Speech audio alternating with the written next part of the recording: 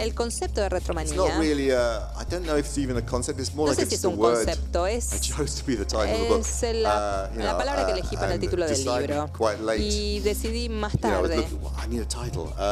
Bueno, but I think it's necesito un quite a good título. it's, Pero es it's, bueno. it's a word that most people can understand Porque and es it una palabra que la manera well. Uh, que like, um, mayoría de las personas pueden eh, right? Entenderlo en muchísimos lenguajes diferentes. La palabra manía es igual en Um, todas las lenguajes y retro también es una palabra universal. Así que es una palabra que la gente puede entender inmediatamente. En el libro no estoy diciendo que hay una única condición eh, subyacente para la retromanía. um, Lo utilizo como un término eh, bajo el cual muchas uh, cosas suceden, síndromes diferentes. Cada uno de estos tiene su propia historia. Converged. Todos convergen. in the, in the 2000s, En los años and- 2000 y uh, han sido made exacerbados o empeorados a través del efecto del Internet. Y eh, llegan a una especie de... Todas estas síndromes, la reedición uh, es eh, diferente a, a una eh, banda que eh, actúa de nuevo. Lo- son fenómenos uh, diferentes.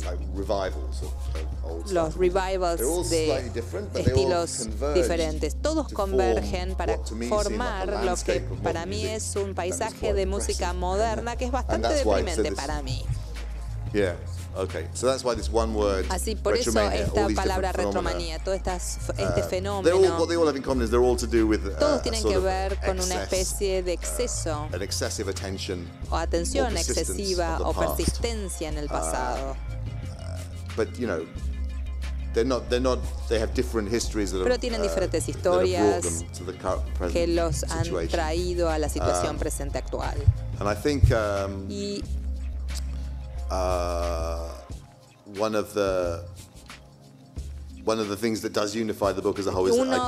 una de las cosas que unifica es, bueno, siempre como inter- de Internet como el um, archivo past pop culture. gigante The things del pasado de YouTube la cultura pop. is like this Y YouTube singular es thing. I don't think- I este don't cuestión singular. ever have y imagined it until it actually Nunca me podría haber never have thought imaginado hasta que apareció. No, nunca imaginé que el futuro iba a traernos esto que podíamos, nos permitiría revisitar uh, todas las cosas del pasado con tanta facilidad y pasar tanto Obviously, tiempo YouTube, you- en a lot of things YouTube. in YouTube are very Muchas de las cosas de YouTube son muy actuales. right this second.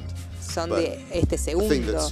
Pero lo que más me sorprendió sobre YouTube fue su función de archivo. Uh, so someone getting into Así music que alguien que se mete en la música ahora puede leer la aprender sobre la historia de la música sin gastar un solo centavo. Uno se uh, puede instruir y utilizar YouTube como una biblioteca. Y yo lo utilizo como biblioteca aún teniendo el álbum. Porque alguien subió el álbum por completo en YouTube y es mucho más fácil para mí escucharlo así. Lo que uno, lo que me interesa es cómo uno crea.